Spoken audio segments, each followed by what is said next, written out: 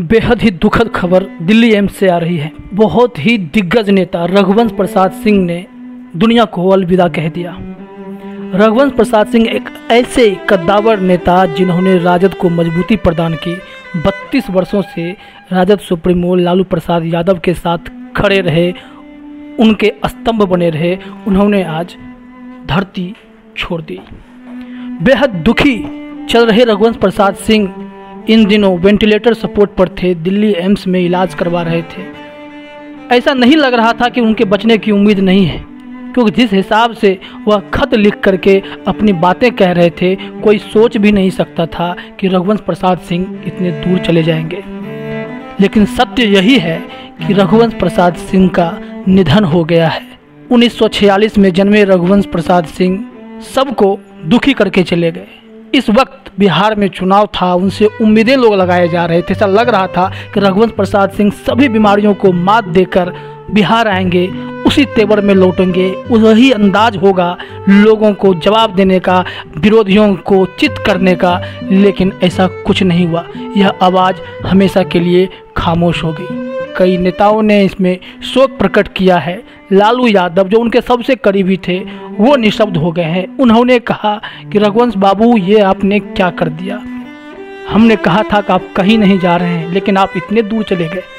रघुवंश प्रसाद सिंह की राजनीति की अगर बात करें तो वो काफ़ी दिग्गज नेता रहे हैं। केंद्रीय मंत्री रहे हैं, कई बार के सांसद रहे। एमएलसी रहे, बिहार सरकार में भी उनकी भूमिका रही।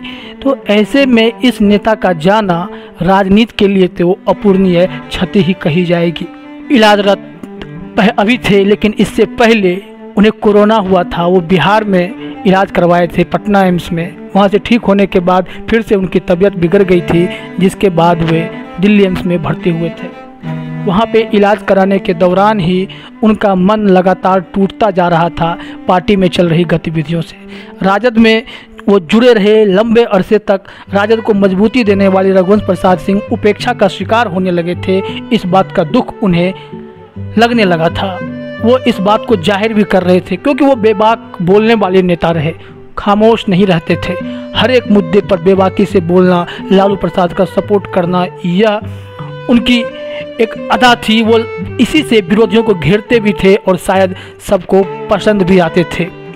इनके परिवार से कोई पॉलिटिक्स में नहीं है, बेटा विदेश में रहता था। पिता की बीमारी की खबर सुनकर वह इंडिया आया, अपने पिता के पास पहुँचा, लेकिन सब कुछ अब धरा का धरा रह गया। रघुवंश प्रसाद सिंह ने लोगों को अलविदा कह दिया, दुनिया को अलविदा कह दिया। रघुवंश प्रसाद सिंह की अगर हम बात करें तो हाल के दिनों में जो सियासत उनकी रही, वो भले ही हाल में चुनाव हारे, लेकिन उन्होंने जो बिहार की राजनीति को दिया, वो प्रोफेसर रघुवंश प्रसाद सिंह अब किसी को नहीं दिखेंगे। आवाज़ उनकी खामोश हो गई, बीमार चल रहे थे, लेकिन बिहार की सियासत में वह एक धरोहर के रूप में याद किए जाएँगे। उन्होंने जो चिट्ठियाँ लिखी थी, एक तो लालू प्रसाद यादव के नाम जो उन्होंने कहा, कर्पूरी ठाकुर के निधन के बाद 32 वर्षों से आपके साथ खड़ा रहा, लेकिन अब नहीं होता। इसके बाद उन्होंने एक अगली चिट्ठी में कहा था कि बिहार की सियासत में कई दल टिकट बेचने लगते हैं। आपके ही पार्टी में कई ऐसे नेता हैं, कई ऐसे लोग हैं जो इस तरह के काम में हैं। इन्होंने यहाँ तक कह दिया कि जब आप पार्टी का पोस्टर बनाते हैं तो पाँच महापुरुष की बजाय अपने ही परिवार के पाँच लोगों की तस्वीरें क्यों लगाते हैं? वो समाजवाद के नेता थे, वंशवाद के खिलाफ थे। आरजेडी के दिग्गज नेता रघुवंश प्रसाद सिंह सबके चहेते, सबके दुलारे थे। जब भी वे बोलते थे तो उनके भाषणों को सुनने के लिए भीड़ लग जाती थी।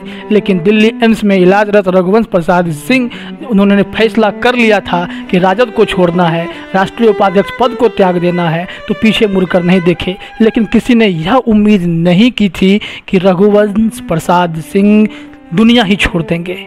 पार्टी छोड़ देते। लेकिन दुनिया छोड़ने की जल्दी उन्हें क्यों हो गई? इस बात का मलाल तमाम राजनीतिक दलों को है। यहाँ तो चर्चा यह चल रही थी कि बिहार विधानसभा चुनाव में वो बड़ी भूमिका निभाएँगे, वो पार्टी बदलेंगे तो जदयू में जाएँगे, ऐसी बातें हो रही थी, उन्हें बड़ी ज़िम्मेदारी मिलेगी। लेकिन ऐसा कुछ नहीं हुआ और रघुवंश प्रसाद सिंह ने दुनिया छोड़ दी। और इसके साथ ही रघुवंश प्रसाद सिंह की अगर हम बात करते हैं तो वो हर एक चीज़ याद आता है जो लालू प्रसाद यादव से उनका किस्सा जुड़ा हुआ है। कर्पूरी ठाकुर के सरकार में वो ऊर्जा मंत्री भी रहे थे और लंबे समय तक राजनीति करने वाले रघुवंश प्रसाद सिंह एक उम्र होने के बाद भी लालू प्रसाद यादव जब जेल जा रहे थे तो उस वक्त भी उनके साथ खड़े रहे। कोर्ट की सुनवाई हो, हर मामला हो, वहाँ दिखते थे।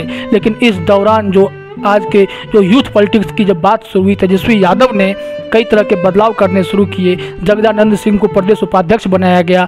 इन सारे बातों से वो नाराज़ दिख रहे थे। उन्होंने खुलकर लालू प्रसाद यादव के नाम खत भी लिखा था कि पार्टी में गतिविधियाँ सही नहीं चल रही हैं। पार्टी में कोई जवाब देने वाला नहीं है और ना ही संगठन स्तर पर कोई काम हो रहा है। तो अंतिम अंतिम समय तक उन्होंने अपनी मांगें, अपनी बातें वो कहते रहे और उन्होंने ये कहा कि राजद को मज़बूत होना होगा। तेजस्वी यादव को भी समझाते रहे, लेकिन तेजस्वी यादव की राजनीति पर वो शायद उतने खुश नहीं थे, जिस हिसाब से वो फैसले ले रहे थे वो रघुवंश प्रसाद सिंह को उतना रास भी नहीं आ रहा था। इतना ही नहीं, रघुवंश प्रसाद सिंह ने एक भिक्षा पात्र की मांग की थी वैशाली में देने के लिए। वो चाहते थे कि अब अंतिम समय में वो जान रहे थे कि उनकी ख्वाहिशें जो है, अब मैं खत लिख दूँ, वही पूरी हो जाए तो बहुत है, क्योंकि वो अंदर अंदर समझ चुके थे कि उन्हें जाने का वक्त हो गया है। यह बात शायद आम लोग या बिहार के अन्य राजनेता नहीं समझ पाए। उन्होंने मुख्यमंत्री नीतीश कुमार से यह अपील की है कि वैशाली में भी झंडोत्तोलन होना चाहिए। कई तरह की मांग उन्होंने अंतिम अंतिम समय तक किया। उन्होंने इस निधन पर शोक भी जताया है। और रघुवंश प्रसाद सिंह की बात करें तो इनके जाने का गम पूरे देश को है और यह राजनीति के लिए, देश के लिए, मानवता के लिए भी अपूर्णीय क्षति कही जाएगी। अगर आपको हमारा वीडियो पसंद आया हो तो इसे लाइक करें, सब्सक्राइब करें और साथ ही बेल आइकन दबाएँ